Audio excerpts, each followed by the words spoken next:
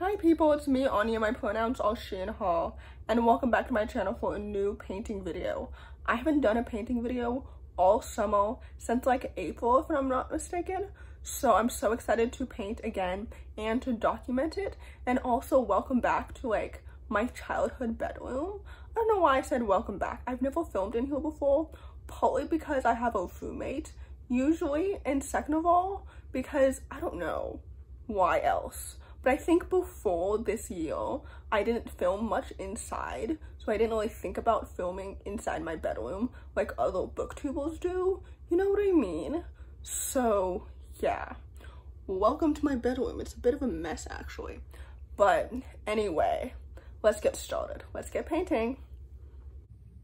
So this is the color palette that I decided to use.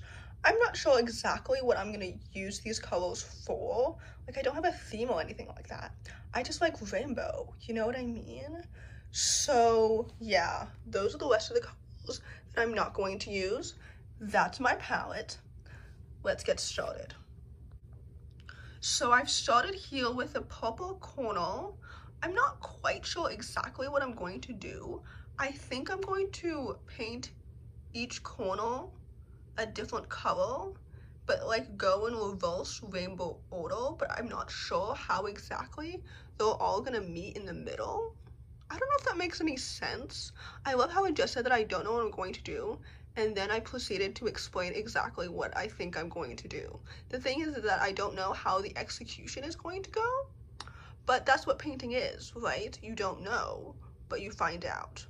So anyway there's that that's the first update. So I've just finished the first round. So there you have it. I know the yellow corner is a bit green. It looks a bit honeydew. I had a friend in college who had a car that was this color and I remember complimenting it because I was like, it looks like honeydew, it's cute. And she was like, everyone says it looks like piss, which was funny to me.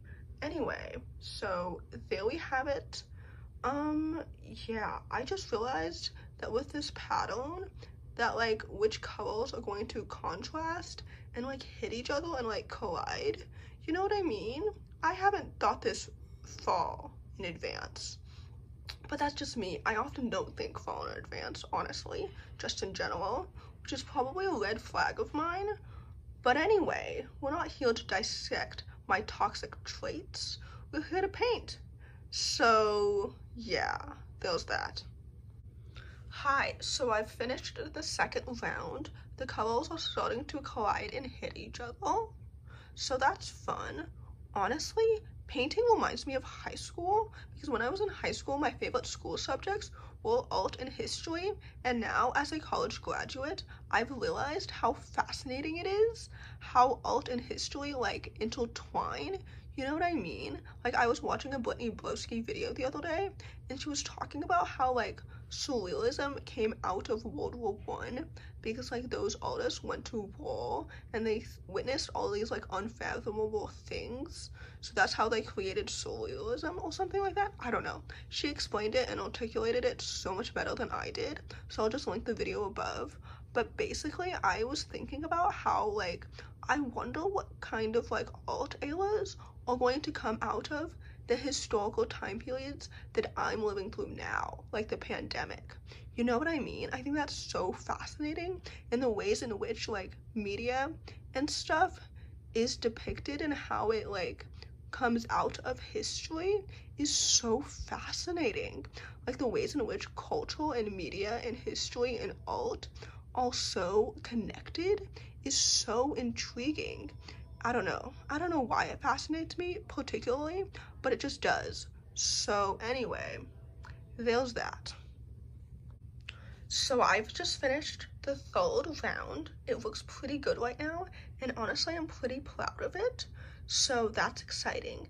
In other news, I was just thinking about how one of my favorite classes from college was media and pop culture because it really fueled my fascination or it started my fascination, like a fascination that I didn't know I had about how pop culture and media and history and everything are so intertwined and it's just so fascinating and it's just so interesting as history continues to like repeat itself which isn't always necessarily a bad thing. But anyway, here we are now. This is so good. I'm so proud of myself. I don't know if I'm going to be able to like complete the rainbow, if you know what I mean, but we'll see. We'll see where it goes. So I'm almost done with this painting. Like literally I've finished the fourth round of the pattern and then I have to close it up.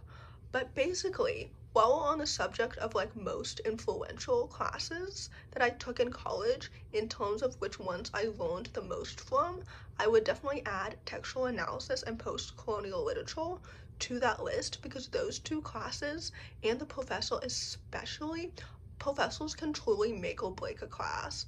But anyway, those two classes I learned about like analyzing literature and how fascinating that is because you know the relation in which like media and pop culture and history and art and like everything like intertwines so well together and it's so fascinating to me.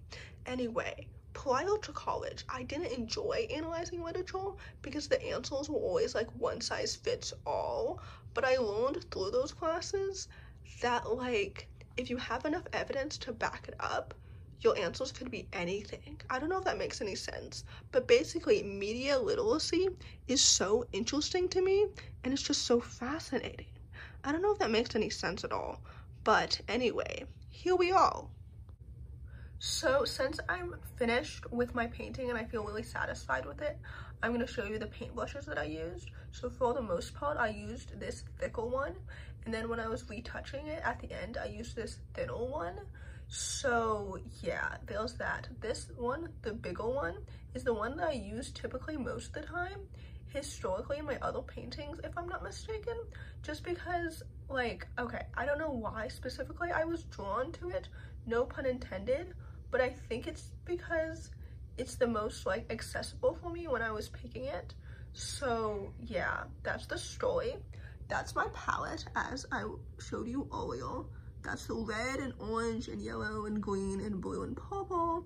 The yellow I'm definitely running out of, so I'm not sure if I'm gonna use that one again in any future painting videos. So yeah, if you're new to my channel, sometimes I do these painting videos, but not very often at all, because obviously I want the focus of my channel to be booktube.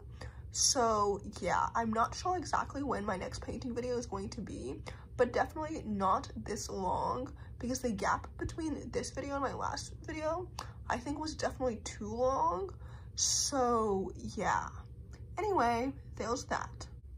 Before I show you the final product, I just wanted to let you know that the alt eras that I'm the most easily influenced by are the ones that I like the most which like I love cubic art, I love geometric art, I love Mondrian, like there were so many cool like alt eras in the past that I have loved, as well as a bunch of other alt eras that I really really enjoy as well, like Rubenism. I think that's how you pronounce it. I'm not completely sure, but I can't quite replicate that. So when I'm painting, I try to draw from alt eras that I think that I can replicate, like Cubanism and anything that has to do with like shapes and colors and stripes and stuff like that, like Mondrian. I think that's how he was influenced. I don't know. I was just reading an article about how he influenced pop culture for the next century, which I will definitely link in the description box below in case you're interested as well. So anyway, in conclusion, this is my painting. What do you think?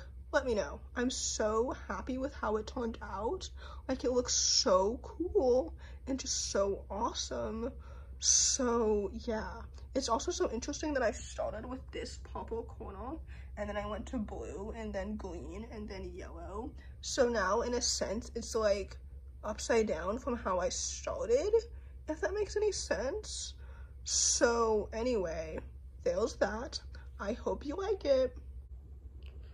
So in conclusion, painting is super therapeutic for me and I truly love it so much. So there will definitely be more painting videos in the future, but I'm not sure specifically when. So anyway, in other news, if you enjoy this video, please don't hesitate to give it a big thumbs up. Comment down below the watermelon emoji if you made it all the way to the end of the video. Thanks for watching, subscribe to my channel if you're new, and I'll see you in my next video. Bye!